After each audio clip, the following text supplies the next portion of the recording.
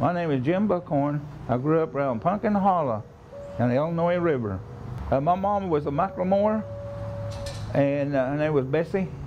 And my dad was Sunday Buckhorn. And he grew up uh, north of us, up toward uh, Flat Rocks in the Illinois River. We had to draw water. I had to cut wood with that crosscut saw. That's what we used, you know, crosscut saw. And a lot of time I just use an axe to chop a small one for our stove, cook stove. What kind of house did y'all live in? Lumber house. Boy, sometime when it snowed, that flakes would be coming off that ceiling. That snow would come in. Next time, when you wake up next morning, you'd have snow on your face. We did. That's how we lived. And mom would get a, uh, uh, she'd bum a um, newspaper. I don't know where she got them at. Then she'd take a flower, put it on water, put it on there, paste it on that wall. That was our insulation. Oakdale Turkey. Did you have to walk to school? Yep, we did lots of time, yeah. It's just about three and a half miles from there, from the house, yeah. And sometimes we'd be in the snow about that deep. See, back then, that snow would snow quite a bit back then. Ooh, that was rough. That was rough. Because we'd, uh, and me and my sister, and I got another one, we'd uh, just step in one place all the way, all the way home. Because that snow would be almost knee deep, you know. Mm-hmm. Some places, then sometimes school would be closed, and we'd walk up and we had to come back. Yeah, since there was no phone. You can call nobody. There was no phone or anything like that. When we were in school, there was no English. All it, all, all it was to us is Cherokee. That's all we knew. Sometimes, me and my sister, we get busted for talking Cherokee. They wouldn't let us speak in, in our own language, you know. It's always had to be English, you know. They would stand us in the corner for talking turkey.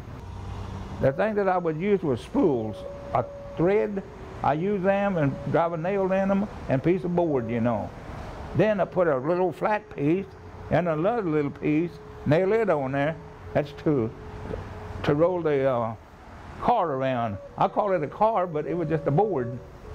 Well, only thing we I played was just really it was uh, wrestling and boxing, cause we had a school that where we went, they would let us, you know, fight for about two minutes a round.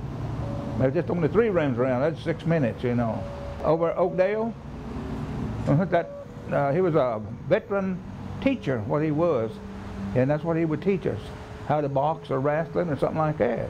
And later on, when I turned 12, I started uh, started making my own little bitty bows and arrows, and I'm still doing it now.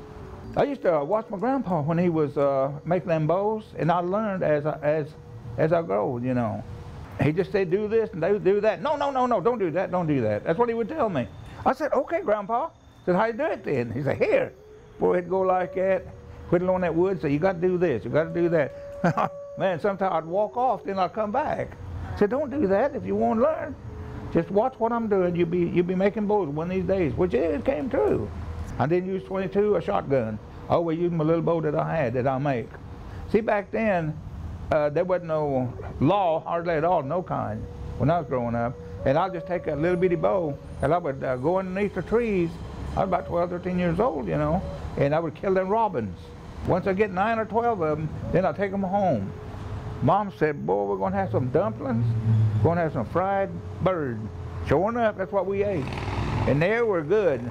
That's what I used to do. I used to just hunt around, around there, and then I'd go up the hillside and uh, try to kill some squirrels, you know.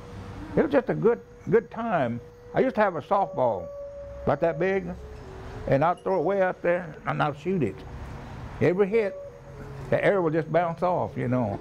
Then take another step or two, and just follow that ball around with that bow, shooting. And that's how I learned my really good shooting was uh, chasing that softball. See, my dad, he had a logging truck, big truck, not a little one, it was a big truck. And that's what we rode. Everywhere we went, we'd go church, we'd ride that big logging truck. And hard to get on too, because it's way taller than I was. Yeah, but because nobody had nothing. The best I can remember too, another thing, nobody had TV, no electric down that Illinois River. Could be around 58, I guess, or 59. The electric wire, they run it through all the way toward Gold Bluff, up to Gold Bluff. And uh, then my mom, they found a TV somewhere, I don't know where it was at, They paid only, I think it was only seven fifty. Boy, we're watching Lone Ranger and uh, Roy Rogers and all them, you know. Boy, I- everybody would would be around that TV watching uh, a movie. Boy, that was something. Sometimes they would stay there till around midnight watching TV. Sometimes we would have to go to sleep, then go to school next day. What was it like to come to town? I bet that was a big. It was the greatest thing we ever seen. Yeah. Then they used to have a little place. I guess that was Opal Cafe back then. You know, little bitty deal over there. They had a hot dog stand. I guess you call that. We'd go over there. God, we'd go crazy. Man, we eat a hot dog.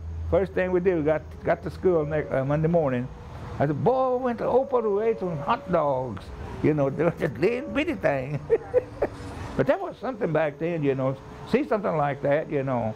Because we never went nowhere, hardly except church. We played softball and then then we throw that ball above the roof. Yeah, they'd catch it on the other side. Something like that, you know. We played that. Then we, uh, and a lot of times there'd be about four or five other kids. I mean, they came down there all the time, you know, just to eat, you know, which that was good because mom was ready to cook for people, you know. And boy, I mean, we'd have company all the time. And anyway, that uh, we uh, be sitting there, and all that was one of them slap somebody in the back. Boy, they start chasing. they'd come in, they'd come down, and play music, you know. My, all my uncles, they played fiddles, guitar, something like that, you know. Every Friday night, somebody would stop. Then there'd be another one stopping. Then they'll bring a guitar, and they- they'd sit right there in that front porch. They'd be lined up with like turtles. yeah, they sure did. That's just, uh, Flat Rock. That's where we used to swim. Yeah, 'cause see, we used to dive off at High Bluff, all the way down the bottom. Man, sometimes we try to touch the bottom. The deeper you go, the darker it gets.